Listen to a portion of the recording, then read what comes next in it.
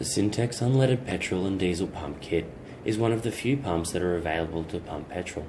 The pump is sealed in a manner that ensures that there cannot be an explosion in the system when earthed correctly. The pump comes in two different styles, one with a flow meter and the other without. The flow meter is integrated with the pump so that there are no additional fittings or parts required.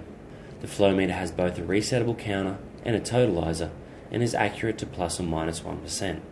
Both options run at a flow rate of up to 75 litres per minute.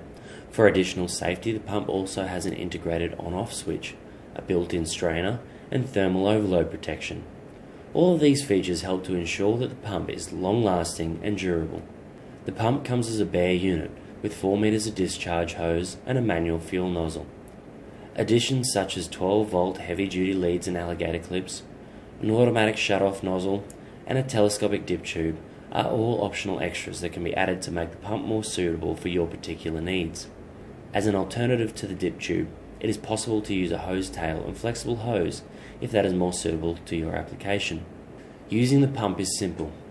Once the pump is connected to power, it is a matter of ensuring that the tube or hose is submerged in fluid. By removing the nozzle out of the cradle, you can flick the power switch that will start the pump. By then placing the nozzle into the receiving container, and squeezing the trigger, the fluid will flow into the container. To switch off the pump, simply return the nozzle to the cradle. If you have any further questions, please check out the Scintex website at www.scintex.com.au.